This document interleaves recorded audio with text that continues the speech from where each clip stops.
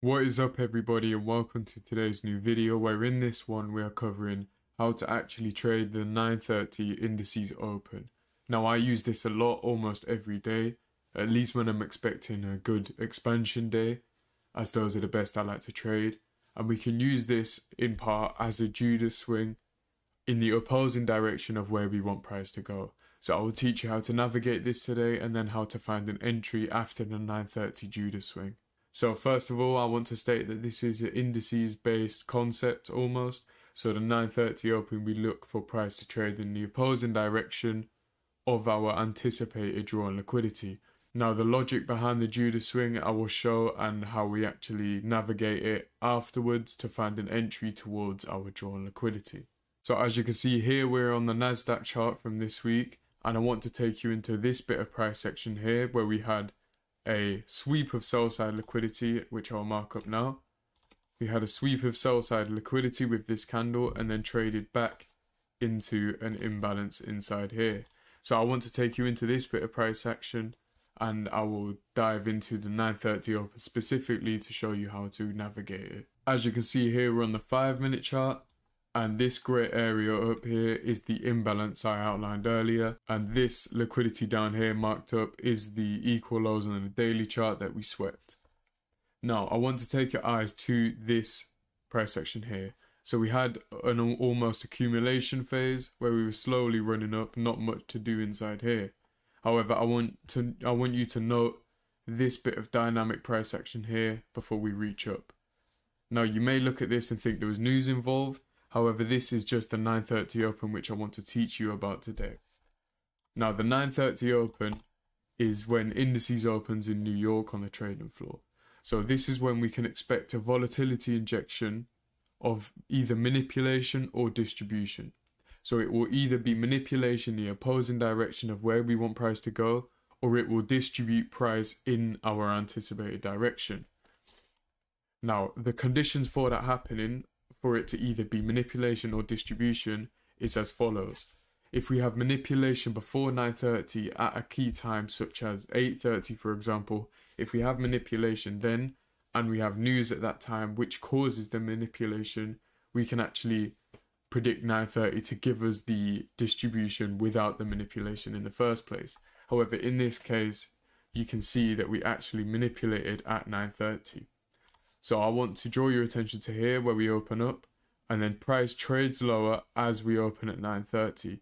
9.35 minute candle prints lower past these sell stops here and then we continue lower clearing out this sell side liquidity pool here.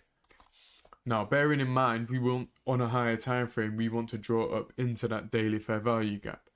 Now 9.30 has now given us the Judas swing and now we are waiting for a change in the state of delivery upwards so that we can follow the trend towards that daily inefficiency. After sweeping sell side liquidity down here, you can see we get a very volatile move upwards. So notice the volatility injection that happens at 9.30 is used as manipulation in this case. Manipulation occurs, triggering sell stops down here and allowing retail to go short. Any breakout traders are going short. We trade higher above this swing high as we have a high next to it and a high next to it here. So a high either side causes our swing high. We break the swing high and then trade back into this PD array here, it back into the breaker block inside here. So we are trading inside this breaker block and you can buy whilst we're inside the breaker. However, I would look to buy and I actually did take a trade. If I can find the execution screenshot, I'll throw it up now. If not, then I will tell you exactly how and where I took the trade. So I noticed we had the manipulation and then broke above, which caused our breaker because we have a low, a high, a lower low, and then a higher high. We trade into the breaker and then give another leg forward. Now, once we give this leg higher, I am looking for a pullback to a PD array inside this leg here because we have not yet cleared out the original consolidation up here. Now, consolidations are always a nice target for us to use. And of course, our draw on liquidity is up here, but we do not have to target the full draw on liquidity to get a good trade. Now, inside hit this price action, I can find one down close candle which is used as support on the order block. Now we wait for price to trade into the body of the down close candle as order block theory should support price holding it here. Price does get supported, we can target just above the highs and I would put my stop loss about 50% of that breaker level. That gives us a nice 2 1 to 2.8 and as you can see that is how we frame a trade around the 930 manipulation and then a leg higher or a leg lower in our anticipated direction. We are patient and we wait for a valid entry to fall. Now in this bit of price action here, I want to give you another example of how we can frame our trading around this specific time. This 9.30 open allows us to be away from the charts doing something else all day, maybe doing a side project or out with your friends, whatever. And then at 9.30 open, New York, we come onto the charts and actually look to frame our trade. So this bit of price action on the one hour chart here, you can see we have a new daily open gap, which should be traded into at some point. So this is our draw on liquidity. Now, as we come into 930, which I'll mark up here, as we come into 930, we of course want to see a run on buy stops in this case, as we want price to trade lower. So we want to see a run on buy stops and then a break lower, giving us our entry we head down into the one minute chart here and head over to the 930 open. You can see this grey box is outlined as our new day opening gap which I want to see price trade into. Now 930 actually opens up gives us a small run and sell stops and then trades higher. We trade up into a price level a higher time frame price level. I should have pointed this out earlier but between these highs over here and this one you can see that this high gets taken out by NQ at 9.30. So we have a high taken out, and we look at ES over here, the same high which was formed at the same time doesn't get taken out. So that run on the high gives us our SMT at the highs at 9.30. So 9.30 causes this run up into the high, and then of course ES doesn't take the high. So 9.30 caused the manipulation here, and then we look to frame a trade on this. So we get a down close candle here, which closes below this series of up close candles. We then see that this bullish candle, which is an order block, is supported and we head lower. Now my entry was somewhere around this bit here, maybe on this gap or in this leg of price action when we traded back up into this gap. I can't quite remember.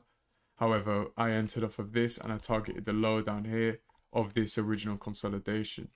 Now you will often see the 930 or price action previous to 930 accumulate positions in the form of a consolidation. 930 gives us our manipulation and then our leg lower and we can oftentimes target the lows or the highs of that consolidation prior to 930. In this case you can see this occur well. You can see that we can put our stop loss above this high or this high and of course you wouldn't hold on to this trade fully I mean, in theory, you could, of course, but I would partial out as we reach into these objectives here.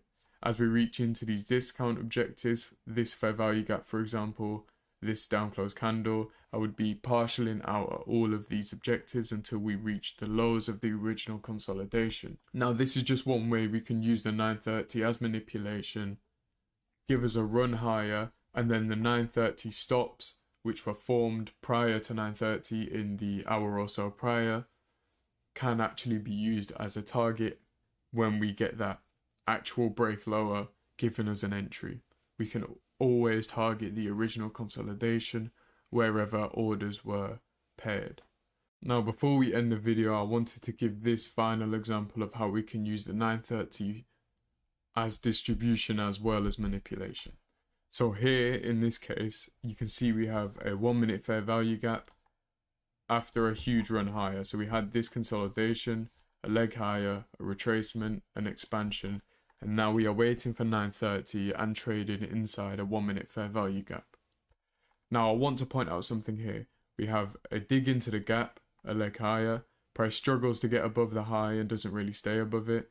We dig deeper into the fair value gap, and then once more we dig into the fair value gap. 930 opens up and digs once more into a discount of the fair value gap and then we get a big leg higher and notice where we close. All the other times we poked higher and we didn't close above the last candle.